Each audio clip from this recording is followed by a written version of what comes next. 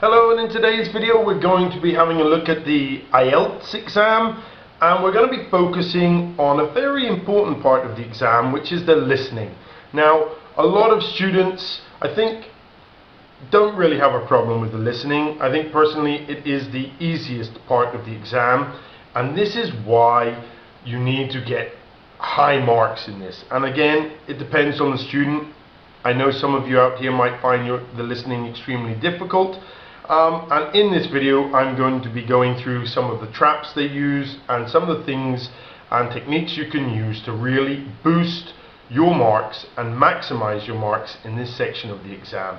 So if you're sitting the IELTS exam, this is perfect for you. Okay, so let's go, shall we? First thing, well, for listening, practice makes perfect. So do practice tests. Cambridge has lots and lots of practice test books. Use them. Use them. I would say before you sit your IELTS, you should be doing at least two to three practice test books. And especially with a skill like listening, as soon as you've practiced or done five or six tests, you you will become very familiar with the type of questions that they throw at you, the kind of tricks that they use, and the kind of mistakes that you make as a student. And all of these things are extremely important for you to know. So, practice, really straightforward. As with any listening, the best thing you can do, they give you some time to prepare underline your keywords and try and guess the missing word. So they give you, you know, 20, 30 seconds before you start listening. Use this time to basically do this. So have a look, for example. Say this is part of your uh, listening test, probably looks more like a part one. The trip costs something for two weeks. So your keywords there are trip costs and two weeks. And you can figure out the gap is, that's right, it's going to be a cost. It's going to be money, dollars, euros, something like this. Something people per group, so underline well, people per group, you can underline all of it actually, or per group, so you're listing out for the words groups. And again, it's going to be a number. 15 people per group, 20 people per group, what? In the summer, you will visit what? So it says here, in the summer, you can visit, so it's going to be a place. Castles, lakes, shops in the winter doors of something and castles. So winter and it's going to be castles. So something in castles, mountains and castles, lakes and castles. And you see, by underlining your words, you know which information you're listening out for. And also you're kind of predicting what's coming, which will also really, really help you. Listen carefully to the instructions. Now, this is a big problem with this exam particularly. In a lot of exams, it's fairly straightforward. You just have to circle the correct answer. In IELTS, they are constantly changing the instructions on you. Maybe you have to write one word, or two words, or three words, or between one and three words. Um, and also listen out, um, like for example in part one, they'll tell you at the very start, they'll say, the next um, speaker will talk about so and so. Please answer questions 1 to 6. Okay, so you know you've got 20 seconds to look at 1 to 6. So you don't need to look 7 to 12 yet. Um, this is a very common mistake as well because you're sitting there and all of a sudden they start talking about something and you're like, oh no, they keep going, they keep going, there's more, no! So always listen to what answers you're meant to be preparing. Classic mistake in IELTS. As well as this, that's right, they love diagrams.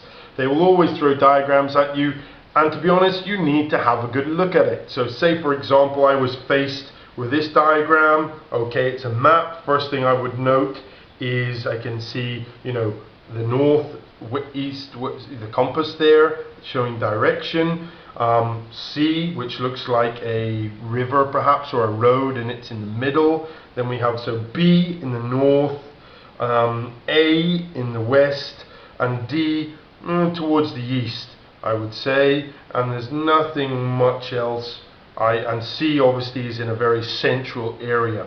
And I would have that in my mind before I even listened to what was coming. And this would help me, you know, when they're giving instructions and things like this, to get the answers right. Like if, for example, they turned around and said, in the north part of the park, there is a lake. And I would say, oh, that's circle B, straight away. So don't panic when you see diagrams. Do spend some time, uh, use your time wisely and prepare like this and try not to freak out. They always look very complicated, but they never actually are. Watch out for traps. Now, they always do this to you, yeah? So once again, let's go back to this example. The trip costs something for two weeks. Yeah, what are they going to do here?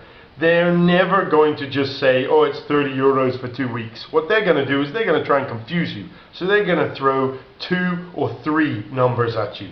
They know you're listening for a number, so they're going to say, oh, for one week it costs uh, 15 euros. For two weeks it costs uh, 50 euros. And also for a month it costs 100 euros.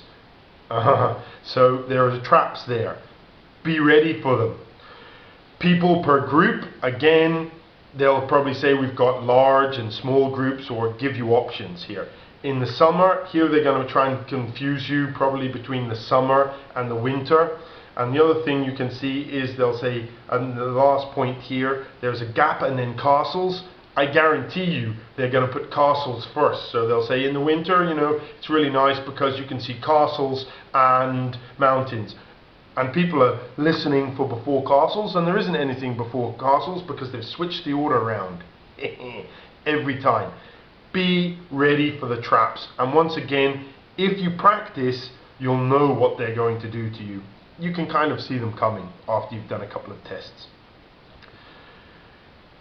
Okay, so finally, watch your spelling, especially in part one, if you're spelling names and things like that, a lot of the time they will repeat the names, but you your spelling has to be accurate, and it really is a tragedy if you are misspelling words and losing marks like this. And I guarantee it's common for students to lose two to three marks on spelling, and it's a shame because they've actually heard the answer. They know what the answer is, they just can't spell it. And again, this comes down to practice. And if you misspell a word, you know, write it out 10 times, make sure you're not going to make that mistake again because it just costs you simple marks. Practice listening to different accents. Again, YouTube is a wonderful way to do this, or again, just by doing lots of different practice tests. They do use different accents, French accents, Americans, and so you should, you know, be familiar with different accents. And I would generally say um, my biggest tip here is if I were you, especially if you are new to IELTS, go onto YouTube and type in IELTS listening and you will find some fantastic videos there of people who what they've done is they've actually you know got a copy of the test and you can hear the listening as well and you're actually watching them do the test. And they are fantastic. You can see them underlining you can see them going through the whole thought process following along and these videos will really really help you especially if you're a newbie to IELTS. You know, they're very, very useful. And I was amazed when I watched them. Wonderful idea, such a useful resource for IELTS students. So just type in, you know, IELTS listening and you'll have lots of them and you'll be able to see. Some of them even give commentary as well. Very, very useful videos. So I hope this video has been useful. Remember, we also have lots of IELTS resources on our channel. There are model answers for bar charts and writing, which I know a lot of students struggle with. These model answers will be very, very useful to point you in the right direction as to how you should approach these questions and what an answer should look like. Apart from that, if you want any help with your speaking, please book a private Skype lesson with us. We have no problem doing speaking mocks and we'll get your speaking and your band level way higher. Thanks very much for watching. That's all for now. Bye.